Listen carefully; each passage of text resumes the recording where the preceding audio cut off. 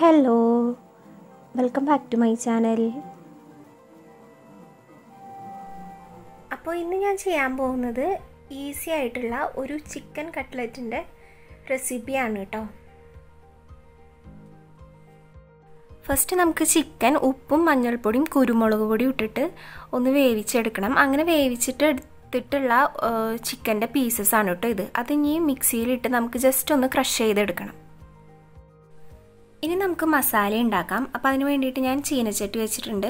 അതിലേക്ക് ഒരു രണ്ട് ടേബിൾ സ്പൂൺ വെളിച്ചെണ്ണ ആഡ് ചെയ്ത് കൊടുക്കാം.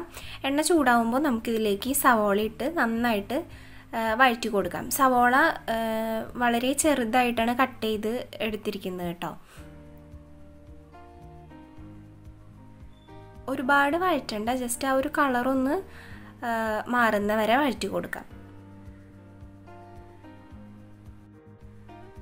ഇനി ഈ സവോളയിലേക്ക് കുറച്ച് ഇഞ്ചി ചതച്ചതും അതുപോലെ തന്നെ ഒരു അഞ്ച് പച്ചമുളകും ചേർത്തിട്ടുണ്ട്. വെളുത്തുള്ളി ചേർക്കണ്ട കേട്ടോ. അത് അത്രയ്ക്ക് നന്നാവില്ല. അപ്പോൾ ഞാൻ ഇഞ്ചി മാത്രമേ ചേർക്കുന്നുള്ളൂ. പിന്നെ പച്ചമുളകൊക്കെ നിങ്ങളുടെ എരിവിനനുസരിച്ച് ചേർത്ത് കൊടുക്കാം. പിന്നെ ഞാൻ ഇതിലേക്ക് ഒരു തണ്ട് കറിവേപ്പില കൂടി ഇട്ട് കൊടുത്തിട്ട് നന്നായിട്ട് ഒന്ന് മിക്സാക്കി കൊടുക്കാം. ഇത് ഒരുപാട് വഴന്ന് വരണ്ട കേട്ടോ. ഉള്ളിയൊന്നും ബ്രൗൺ കളർ ആവണ്ട. അതിന് മുന്നേ നമുക്കിതിലേക്ക് പൊടികൾ ചേർത്ത് കൊടുക്കാം. അപ്പോൾ ഞാനിവിടെ ഒരു കാൽ ടീസ്പൂൺ മഞ്ഞൾപ്പൊടിയും പിന്നെ ഒരു അര ടീസ്പൂൺ മുളക് പൊടിയും ചേർക്കുന്നുണ്ട്. പിന്നെ ഉപ്പും ഗരം മസാലയും കൂടി ചേർത്തിട്ടുണ്ട് കേട്ടോ. ആ ഉപ്പും ഗരം മസാലയും ചേർത്ത് ആ ഒരു ക്ലിപ്പ് എന്റെ നിന്ന് മിസ്സായിപ്പോയി അപ്പോൾ അതും നിങ്ങൾ ചേർത്ത് കൊടുക്കാനായിട്ട് ശ്രദ്ധിക്കുക പിന്നെ മല്ലിപ്പൊടി നമ്മൾ കട്ട്ലേറ്റ് ഉണ്ടാക്കുമ്പോൾ മല്ലിപ്പൊടി ചേർക്കണ്ട കേട്ടോ. അത് നല്ലതാവില്ല.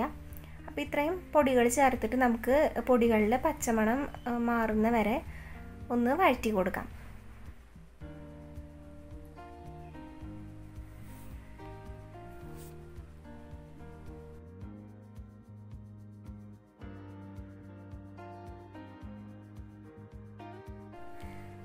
ഫൈനലായിട്ട് നമുക്കിതിലേക്ക് കുറച്ച് കുരുമുളക് പൊടി കൂടി ചേർത്ത് കൊടുക്കാം.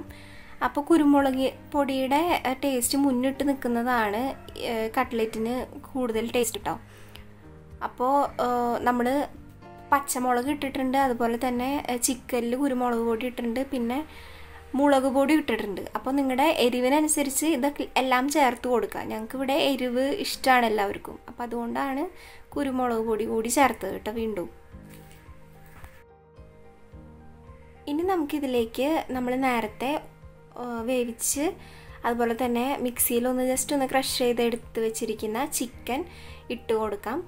എന്നിട്ട് നന്നായിട്ട് ഈ മസാലയും ചിക്കനും എല്ലാം കൂടി നന്നായിട്ട് മിക്സ് ചെയ്ത് കൊടുക്കാം. നിങ്ങൾക്ക് വേണമെങ്കിൽ മിക്സിയിലിട്ട് ക്രഷ് ചെയ്യണ്ട കേട്ടോ. നിങ്ങൾക്ക് കൈകൊണ്ട് തന്നെ ചിക്കി ചിക്കി എടുത്താലും മതി. പക്ഷെ എനിക്ക് അത്രയും വലിയ പീസസ് ആയിട്ട് ചിക്കൻ കിടക്കുന്നത് ഇഷ്ടമല്ല കട്ട്ലേറ്റിൽ അപ്പോൾ അതുകൊണ്ടാണ് ഞാൻ മിക്സിയിലിട്ടൊന്ന് ബ്ലെൻഡ് ചെയ്തെടുത്തത്.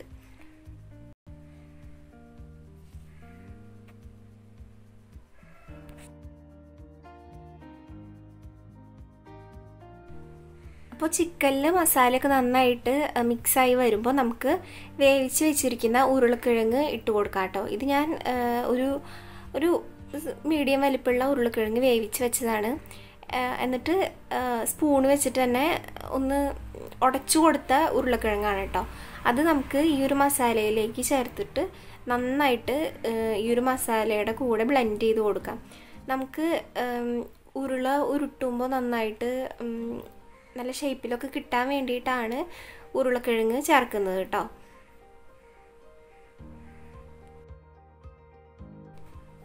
ഇനി നമുക്ക് കട്ട്ലറ്റ് ഉരുട്ടിയെടുക്കാം. അപ്പം നമ്മൾ ഇങ്ങനെ ഉരുട്ടിയെടുക്കുമ്പോൾ നമുക്ക് കറക്റ്റായിട്ട് അത് കിട്ടണമെന്നുണ്ടെങ്കിൽ നമ്മളുടെ മസാലയുടെ കൺസിസ്റ്റൻസി കറക്റ്റായിരിക്കും അപ്പം ഞാൻ ഒന്നുകൂടെ ഒന്ന് കൈ വെച്ചിട്ട് നന്നായിട്ടൊന്ന് ബ്ലെൻഡ് ചെയ്ത് കൊടുക്കുന്നുണ്ട് കേട്ടോ. പിന്നെ ഞാനിവിടെ ബ്രെഡ് ക്രംസ് എടുത്തിട്ടുണ്ട്. അതുപോലെ തന്നെ ഒരു മുട്ട നന്നായിട്ട് മിക്സ് ചെയ്തെടുത്ത് വെച്ചിട്ടുണ്ട്. ഇത് ബ്രെഡ് ക്രംസ് ഞാൻ വീട്ടിൽ തന്നെ നമ്മുടെ സാധാരണ ബ്രെഡൊന്ന് ചൂടാക്കിയിട്ട് മിക്സിയിലിട്ടൊന്ന് ബ്ലെൻഡ് ചെയ്ത് കൊടുത്തു. അത്രേ ഉള്ളൂ. പിന്നെ കട്ട്ലറ്റ് നമുക്ക് ഇഷ്ടമുള്ള ഷേപ്പിന് ഉരുട്ടിയെടുക്കാം കേട്ടോ എനിക്ക് എല്ലാം വേറെ വേറെ ഷേപ്പിലാണ് കിട്ടിയത്. അപ്പോൾ ഞാൻ ഒരു ഓവൽ ഷേപ്പാണ് ഉദ്ദേശിച്ചത്. പക്ഷേ എന്റെ ഞാൻ ഉണ്ടാക്കിയതെല്ലാം വേറെ വേറെ ഷേപ്പായി പോയി.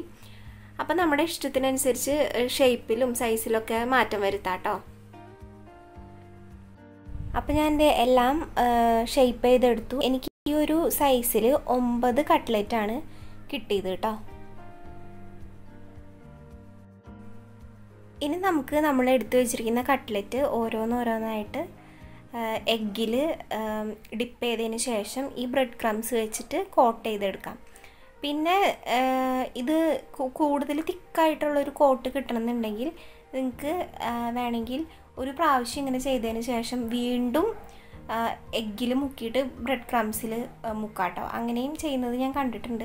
പക്ഷെ ഞാനിപ്പോൾ ഒരു തവണയാണ് ചെയ്യുന്നുള്ളൂ. നമുക്ക് അത്യാവശ്യം കുഴപ്പമില്ലാത്ത രീതിയിൽ നന്നായിട്ട് ബ്രെഡ് ക്രംസ് കോട്ടായി വരുന്നുണ്ട്. അപ്പോൾ ഞാൻ എല്ലാം ഇങ്ങനെ ചെയ്തെടുത്തിട്ട് കാണിക്കാം കേട്ടോ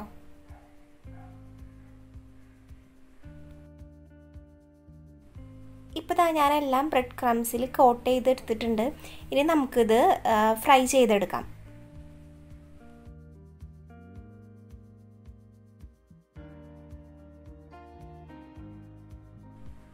അപ്പോൾ ഞാൻ എന്താ ഒരു പാൻ എടുത്തിട്ട് അതിലേക്ക് ഓയിൽ ഒഴിച്ചിട്ടുണ്ട്. ഓയിൽ നമുക്ക് ഒരുപാട് ഒഴിക്കണ്ട കേട്ടോ. നമ്മൾ ഡീപ്പ് ഫ്രൈ ചെയ്യുന്നില്ല. നമ്മുടെ കട്ട്ലറ്റിന്റെ ഒരു പകുതി മുങ്ങാൻ പാകത്തിനുള്ള ഓയിൽ മതിയാവും. എന്നിട്ട് നമുക്ക് ഓരോന്നോരോന്നായിട്ട് ഇട്ടിട്ട് ഫ്രൈ ചെയ്ത് കൊടുക്കാം. പിന്നെ നമ്മൾ ഈ ഒരു പാനിൽ ഫുൾ കട്ട കുത്തി കട്ട്ലറ്റ് ഇടരുത് കേട്ടോ അപ്പോൾ നമുക്ക് മറിച്ചിടാനൊക്കെ ബുദ്ധിമുട്ടായിരിക്കും. അപ്പോൾ ഒരു നാലോ അഞ്ചോ എണ്ണം വെച്ചിട്ട് ഒന്ന് നമുക്ക് ഫ്രൈ ചെയ്ത് കൊടുക്കാം. പിന്നെ തീ നല്ല ലോ ഫ്ലെയിമിൽ വെച്ചാൽ മതിയാവും. അല്ലാന്നുണ്ടെങ്കിൽ ഇത് പെട്ടെന്ന് കരിഞ്ഞു പോകും. ബ്രെഡ് ക്രംസ് അല്ലേ? അപ്പോൾ പെട്ടെന്ന് കരിയാനായിട്ട് ചാൻസ് ഉണ്ട്. അപ്പോൾ ഒരു സൈഡൊന്ന് മുരിഞ്ഞു വരുമ്പോൾ നമുക്കിത് മറിച്ചിട്ടിട്ട് ഫ്രൈ ചെയ്ത് കൊടുക്കാം.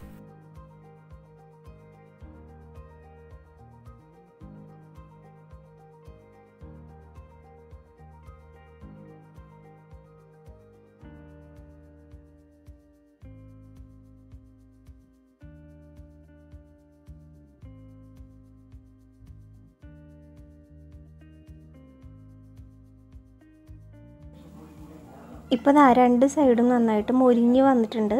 ഇനി ഞാനിത് എണ്ണയിൽ നിന്ന് കോരി മാറ്റാണ് കേട്ടോ